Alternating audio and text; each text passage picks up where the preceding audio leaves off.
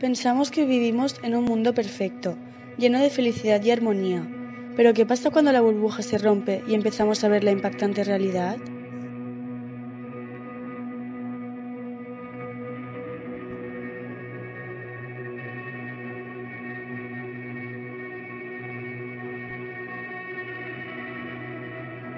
Colillas por el suelo, acompañadas de botellas y envoltorios, coches y coches, deforestaciones, fábricas.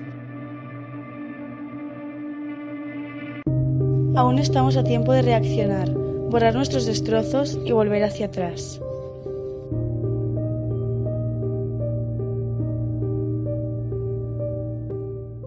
Si nuestras huellas son el camino, ¿qué camino estamos recorriendo?